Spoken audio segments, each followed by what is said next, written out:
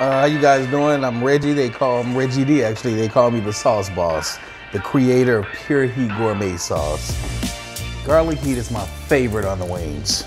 The best way to do it to get the effect and to get the great look is to shake your wings as you put the sauce on them. Pure Heat's garlic heat wings.